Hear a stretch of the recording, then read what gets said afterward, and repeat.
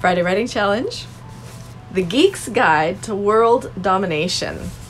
Be afraid, beautiful people. the title itself made me buy the book, but it's really not anywhere near what the title suggests because it's it's not domination. No. It's become a Sudoku god. Brew your own beer. Build a laser beam. Classify all living things. Clone your pet. Exercise demons. Find the world's best corn mazes. Ha! Who thought that that ever might be a challenge, right? Grasp the theory of relativity. Have sex on Second Life. Oops. Hmm, did I just say the word sex in a Friday writing challenge? Inqu- injure a fish? Oh, I don't know about that. Join the Knights Templar. Kick ass with sweet martial arts moves. Learn ludicrous emotions, emoticons. Sorry, read that wrong. Master the ocarina of time. Pimp your cubicle. Program a remote control.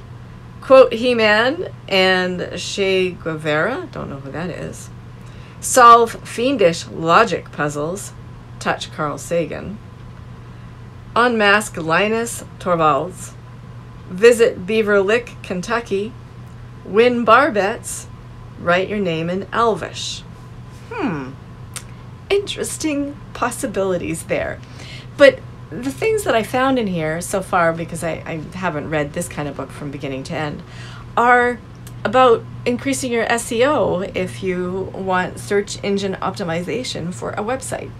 And um, how to count cards, the MIT Blackjack team, how to read a Chinese abacus. Hmm, never managed that one.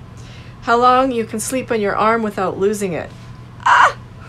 The highest scoring words in Scrabble. Oh, I think I got to bookmark that page for my sister and I. You know what? Her son, my nephew, calls her about Scrabble.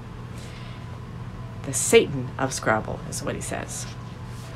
So, anyway, another book title for a Friday Writing Challenge with a little peek at the inside and what it says in the back cover. What interesting book titles do you have on your shelf that might actually prompt you or trigger you into writing something? And maybe you want to do the Geek's Guide to, uh, ooh, um, souffles. kind of like how they did those books, um, you know, so such and such for dummies, like Chess for Dummies, Microsoft for Dummies. Titles are interesting. But anyway, grab something from in there and go write. Bye for now.